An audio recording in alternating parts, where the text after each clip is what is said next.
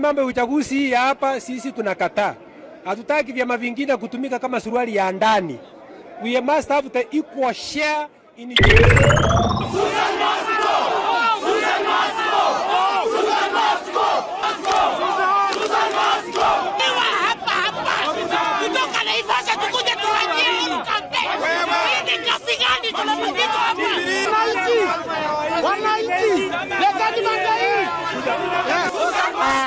Rongai tumeamua ni Patrick Rotich. Hakuna hakuna kitu kama hiyo.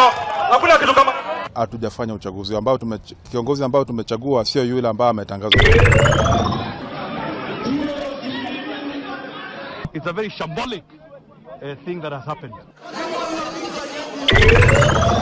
This is the way the nominations will be done. Then I can tell you it really scaring all people.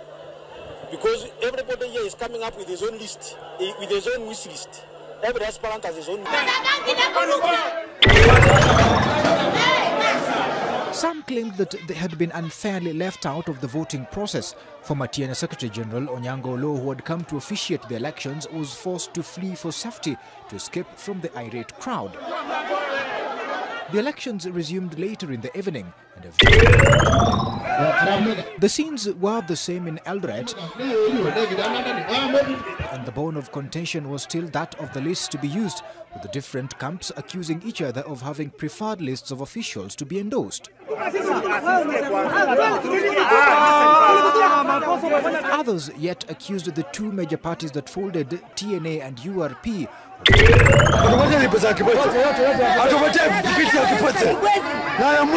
the group which had turned up at a Kitui hotel in the morning learned that the venue had been changed to another hotel without their knowledge, only to find the gates locked. In Nairobi, there were chaos during the election of the representative of persons living with disability. While one camp said the election had been conducted and had been free and fair, na ile kura tumechukua, kila mmoja akas, tukasimama, watu wakasimama nyuma yao na watu wakahesabiwa wale wanampigia kura. Wanja akapata kura tatu. Uh, Mushiri akapata kura 27. Lumbi akapata kura 39. another contestant claimed that he had not participated in the election. vile wamefanya wamefanya uchaguzi kama sisi hatupo, na sisi tulikuwa tunang'eng'ana na SG pale, ili sisi walemavu tupewe tent moja pale tuweze ku, ku, kuamua ni nani ambaye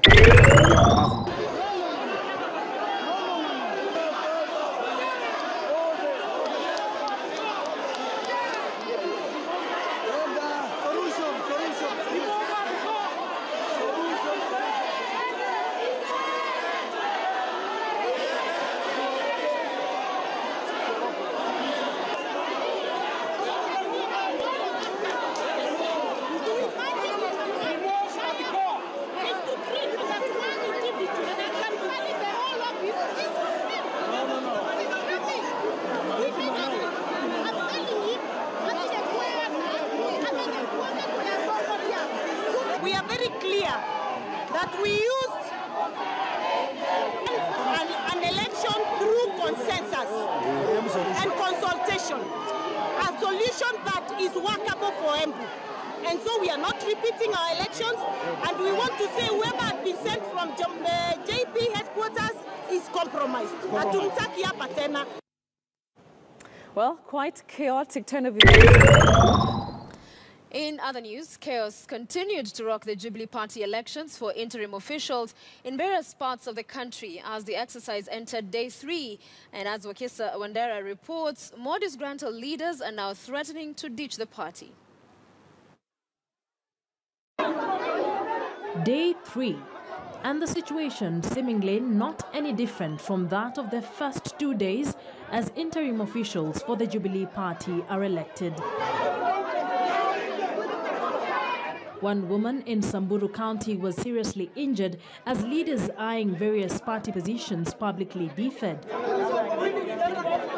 Chaos erupted after two groups supporting different candidates for county posts clashed at Alamano Catholic Church in Maralal town. The elections were later held with the leaders agreeing on who should hold different positions. Some disgruntled leaders are looking at other options. Embu politician and gubernatorial aspirant Kithinji Kiragu is one of them. He has ditched the party citing divisive politics at play. Viongozi ambao wanatamani sana kuongoza hii kaunti wanataka kutumia hii siasa ya Jubilee kuwawanya watu wa Embu na wa Mbeere. The exercise is expected to end on Haya, sikizeni argument ya Tess or not. Busia County Jubilee elections witnessed similar scenes, with chaos dominating the event. A section of delegates from Teso North accusing Teso South Member of Parliament Mary Emaase for bulldozing the exercise. Hii hatutakubali, hatutamutaweza tu kukanyaga. We will not accept that. Nothing, nothing else than that. We do not want this kind of election where we will just bring us here to rubber stamp Eh, and kuleta watu, watu vinyangarika wengine hapa kusimamisha chama. I'm not going to, con- to contest for for my governorship with Jubilee Party. And uh, I've already decided to relocate to Kanu, which is, which is the party which, which, which has more nationality uh, outlook. If the office of Kihika can rig in Manyara as the chairman, then the Jubilee, the JP party, turns out to be a very dangerous party. And we feel that it is ready to feast on some of these aspirants come the nominations that are coming on April. In Nakuru County, trouble is brewing as Jubilee nominated Senator Paul Njoroge jumped ship, with some Jubilee aspirants threatening to ditch Jubilee, accusing Nakuru County Speaker Susan Kihika, who also heads the presidential campaign team for the chaos.